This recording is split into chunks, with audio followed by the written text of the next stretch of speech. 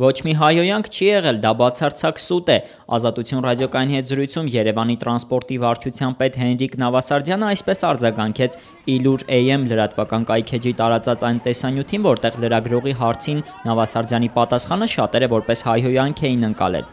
Մի հատ հարց տամ էլի ձեզ։ Երբ որ ինքը դեմս կտրեց ու ասեց, ես բան եղա մի անգամից ներվայնի ներվերը չապերեց եւ ասացի գնաք ու գնաց ուզում եմ ասել գնաք ու ներվերը չունեմ բայց այնքան ներվայնացած էի որ նույնիսկ վերջի բառը չկարողացա արտահայտել Տեսանյութի հեղինակ Իլուր AM կայքի լրագրող Սարգիս Գևորքյանը Ազատություն ռադիոկայանի հետ զրույցում ասաց, որ վստահ է, Պաշտոնյան իրեն հայհոյել է։ Լրագրողը պատմեց, որ Նավասարդյանին հանդիպել է օպերայի հարակից տարածքում, երբ նկարահանում էր տրանսպորտի թանկացման դեմ ակցիան։ Հետո մոտեցան մեզ այդ իրեն ուղեկցող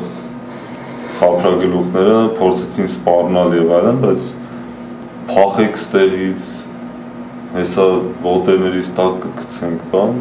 Լրագրողը ասաց, որ այս հարցով չի պատրաստվում բողոք ներկայացնել ոստիկանություն, քանի որ ըստ նրա դա անիմաստ է։ Խոսքի ազատության պաշտպանության կոմիտեի նախագահ Աշոտ Մելիքյանի կարծիքով պաշտոնյայի նման պահվածքը անպայման պետք է հետևանքներ ունենա։ Օրինակ նրա ղեկավարը տվյալ դեպքում քաղաքապետ Տարոն Մարգարյանը պետք է այն քննարկման թեմա դարձնի եւ նկատողություն տա։